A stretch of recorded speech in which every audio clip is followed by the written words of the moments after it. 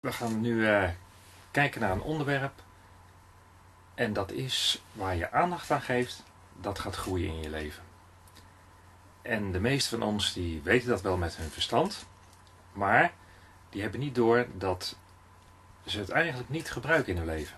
Of ze gebruiken het wel, maar eigenlijk meer in de negatieve zin van het woord. Laat ik het uh, uitleggen. Dat wat je aandacht geeft, dat wat je voelt in je leven, dat gaat groeien. Dat zie je ook in de natuur. Dat zie je in je eigen huiskamer als je plantjes koopt. En je verzorgt ze niet, dan gaan ze dood. Maar als je ze liefdevol verzorgt en je geeft ze op tijd water, je geeft ze op tijd voeding, dan floreren ze. Ze hebben niet alleen voeding nodig en uh, water, maar ze hebben ook aandacht en liefde nodig. En dan floreren de planten goed in je huiskamer.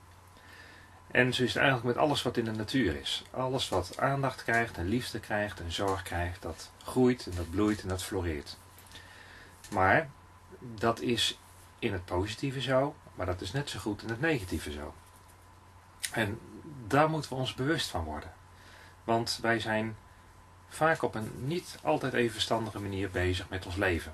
Wij geven aandacht aan datgene wat we niet willen dat groeit. Laat ik een vers uit de Bijbel lezen om dat te illustreren. Een bekend vers staat in Galaten 6 vers 7 en dat begint met dwaalt niet, God laat niet met zich spotten. En daarmee bedoelt de Bijbel denk ik dat je niet kunt spotten met God, maar eigenlijk ten diepste je kunt niet spotten met de wetmatigheden die God in zijn schepping heeft gelegd. Want die werken gewoon altijd. Of je er nou in gelooft of niet. De zwaartekracht die werkt altijd, of je erin gelooft of niet. Zo werkt ook de wet van zaaien en oogsten. De wet van wat je aandacht geeft, dat gaat groeien.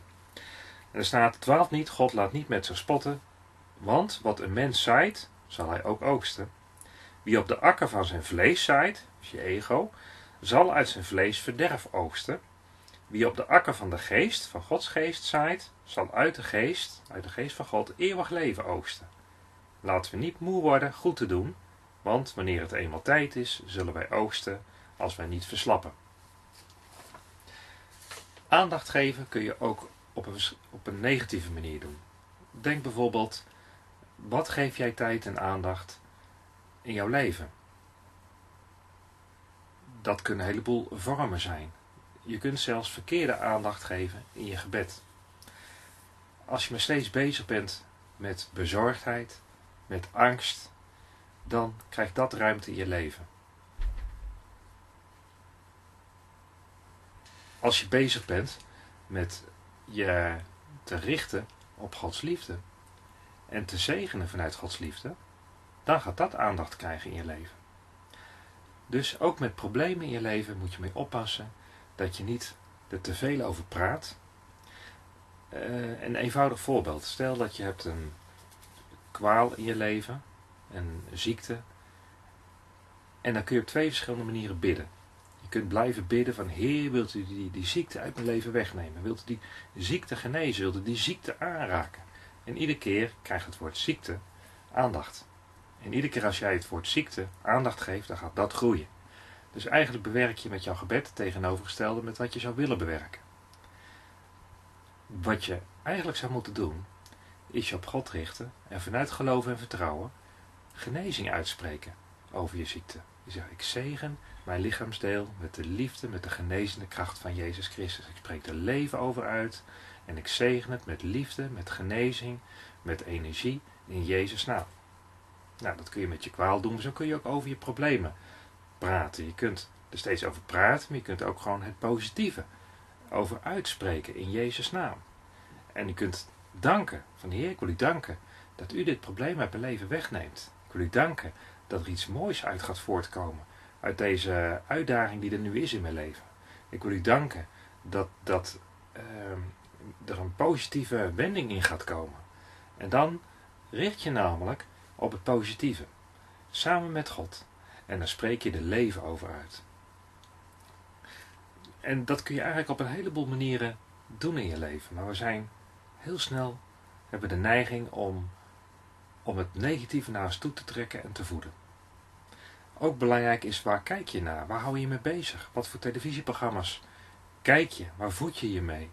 Waar besteed je je tijd aan?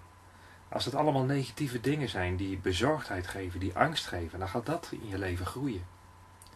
Als je maar steeds blijft kijken naar, naar moeilijkheden, naar problemen, dan gaat dat groeien. Daarom dat Jezus ons ook leert om onze gedachten op God te richten. Daarom is ook het eerste gebod in de Bijbel eigenlijk de leefregel van heb God lief. En aanbid hem. Want op het moment dat je je op God richt en je gaat hem aanbidden, dan verplaats je focus van je probleem naar God bij, bij wie alle macht is, die alles kan doen, bij wie niks onmogelijk is. En op het moment dat jij je op God gaat richten, dan komt er een nieuwe dimensie, er komt een andere kijk, een andere visie op je leven. En dan ga je je leren je leven van, vanuit Gods ogen, vanuit Gods perspectief te bekijken. En dan groeit er geloof, dan groeit er vertrouwen, want bij God zijn alle dingen mogelijk. Dus mijn boodschap voor vanmorgen is, of van, van deze dag, van deze weekboodschap, is dat je je focus niet moet richten op je ziekte, op je probleem, op je relatie die niet loopt, op, op, op je financiën die niet gaan, maar dat je er samen met God leven over gaat uitspreken. Dat je eerst gaat richten op God. Dan komt er ruimte in je gedachten. Dan komt er leven, dan komt er energie, dan komt er liefde. En van daaruit ga je leven uitspreken in Jezus' naam over je ziekte, over je relatie, over je, financiële problemen. En gaat God danken voor de oplossing die gaat komen. Want op het moment dat jij gaat danken, in vertrouwen naar God toe, dan schep jij de oplossing in de geest, samen met God, in het geloof. Ik wil een zegen over je uitspreken. En ik wil je aanmoedigen om dit te gaan hanteren in je leven. Hemelse Vader, we willen u danken dat bij u alle dingen mogelijk zijn. Heer wilt u ons helpen om onze focus te richten op u, wie u bent. Want u bent zo groot.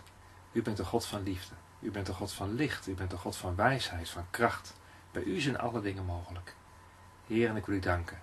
Heer, dat we ons niet hoeven te richten op de onmogelijkheden, op de problemen in ons leven. Heer, maar dat we ons mogen richten op u.